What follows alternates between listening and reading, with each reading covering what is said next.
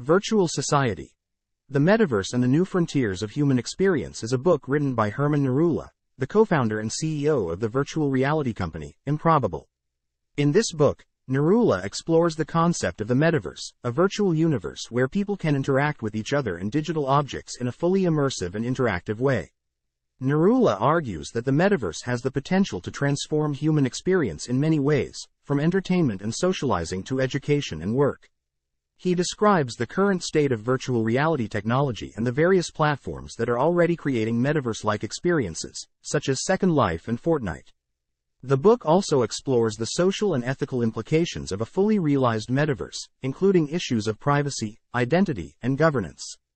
Narula argues that it will be important to create a metaverse that is inclusive and accessible to all, and that encourages positive social interactions.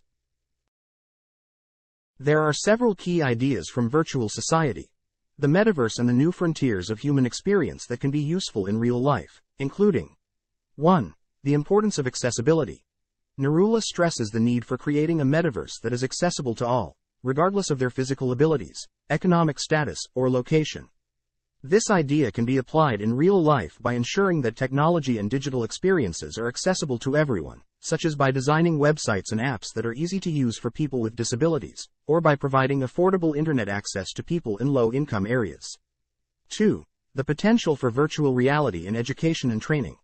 Narula discusses how the metaverse can be used to create immersive educational experiences, such as virtual classrooms and simulations. This idea can be applied in real life by using virtual reality technology to provide hands-on training for jobs that are difficult or dangerous to learn in real life, or by creating virtual field trips for students to explore different parts of the world. 3. The need for ethical considerations in technology development. Narula emphasizes the importance of considering the ethical implications of technology development, such as issues of privacy, identity, and governance. This idea can be applied in real life by being mindful of the potential impact of new technologies, and considering how they may affect different groups of people. 4. The power of social interaction in virtual environments. Narula discusses how the metaverse can provide new opportunities for social interaction and community building. This idea can be applied in real life by using virtual platforms to connect with people from different parts of the world, or by creating online communities around shared interests. Thank you for watching. We hope you enjoyed the content and found it valuable.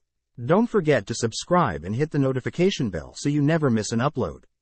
We appreciate your support and look forward to bringing you more great videos in the future.